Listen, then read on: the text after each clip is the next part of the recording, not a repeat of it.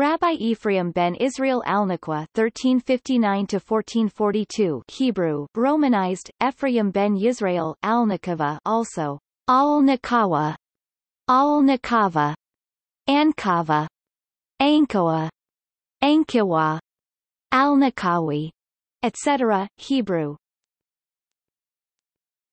was a physician, rabbi, theological writer, and founder of the Jewish community at Tlemcen, Algeria, where he died in 1442. According to a legend, Alnaqua escaped from the Spanish Inquisition, which had martyred his father Rabbi Israel ben Joseph and mother at the stake, and came to Tlemcen mounted on a lion, using a serpent as a halter. Azulai refers to him as a miracle worker. Alnaqua succeeded, after all other physicians had failed, in curing the only daughter of a king of the Zayyanid dynasty. Refusing the reward of gold and silver offered him by the king, he begged only that the Jews living near Tlemcen might be united in it. In this way the community was formed.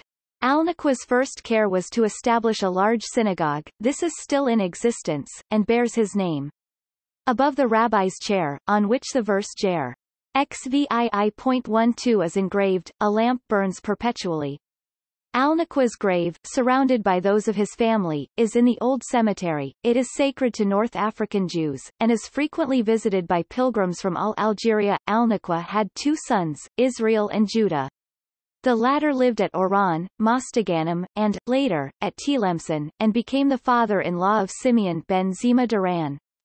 Alnaqua wrote for his elder son Israel Shar Kevod Adonai Entrance to the Glory of God, containing answers to the criticisms of Nachmanides on the Moreh of Maimonides.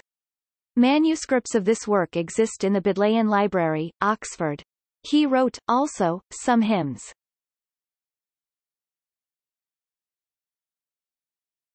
Topic. Other family members